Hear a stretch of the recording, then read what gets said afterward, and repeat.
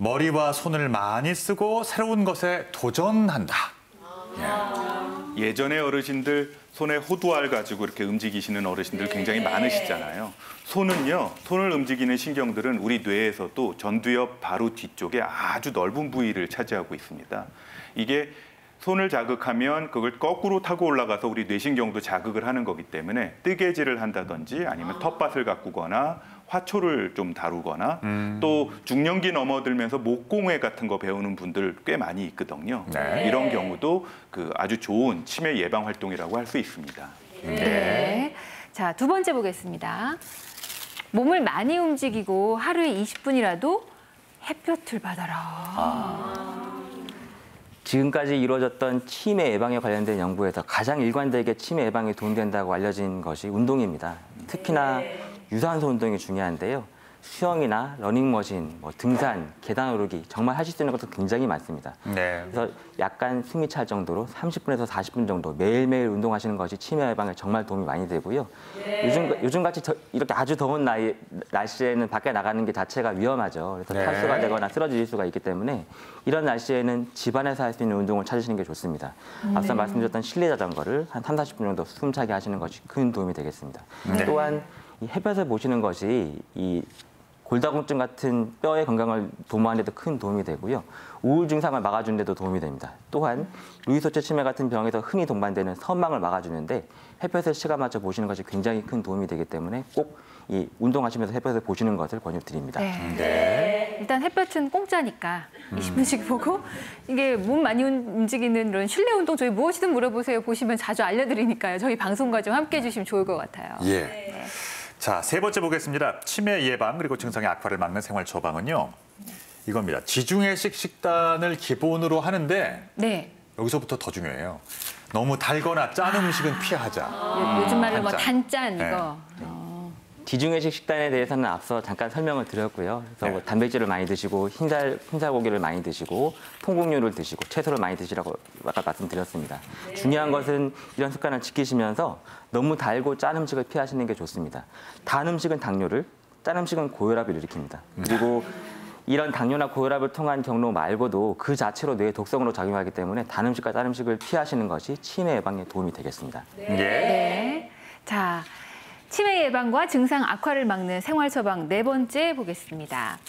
자존감을 높이고 마당발로 살아라. 아, 근데 자존감 문제는 참 어려운 것 같아요. 이게 높인다는 게.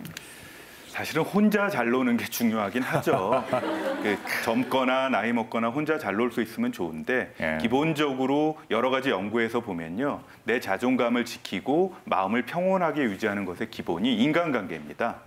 친구들 많이 만나고 경로당에서 또는 복지관에서 공부 많이 하고 친구들과 대화 많이 하는 분들이 자존감을 높이는 데 아주 중요합니다. 예. 그러니까 사람은 역시 사람과 섞여 살아야지 건강해지는 것 같아요. 근데 자존감 같은 거는 남이 세워주는 건가요? 아니면 내가 키워야 되는 건가요? 좋은 부인을 만나면 옆에서 키워줄 수도 있겠지만 기본적으로 본인이 키우는 게 맞습니다. 예. 첫 번째 조건은 자기 좋아하는 일을 하세요. 평생 아. 동안 남 챙겨서 했으면 지금부터는 참나 좋은 일. 저는 책 읽고 영화 보는 거 좋아하거든요. 아. 뭐 좋아하세요? 그거 하세요. 그리고 두 번째는요. 네. 내가 뭐 어떤 장점을 가지고 있는지 한번 일기처럼 써보세요. 아. 그리고 옆에서 보면 남말하는 거 좋아하고 그 자존심 상하 는 말 잘하는 꼭 친구 있잖아요. 네. 몇십 년을 만났는데도 그런 친구들이 있어요. 네. 만나지 마세요. 그리고 마지막 중요한 거는요. 예. 나 정도면 이 정도면 잘 살았다. 충분하다.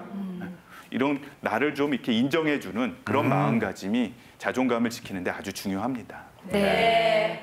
워낙 훌륭하셔서 네. 제 짝꿍 말이에요. 네. 뭐 외모, 성격, 방송 능력 뭐 하나 빠질 게 없으세요. 쑥쑥 올라가고 네, 있어요. 자존감 감사해요. 키워주는 좋은 문화. 예, 그리고 머리 손 많이 쓰고 새로운 거 도전하라고 하니까 저희 지금 알려드릴 때 나는 뭘 할 건지 좀 하나하나 떠올리시면 좋을 것 같아요. 예. 뭐 뜨개질이라도 좀 배워야 될까요? 자, 다섯 번째 볼게요. 에? 소화제, 진통제, 멀미약 등을 함부로 먹지 말아라. 어. 사실 어르신들 소화제 많이 드시고 또 진통제 드시는 여성분들도 많으시고 그런데 달고 사시죠. 관련이 있어요?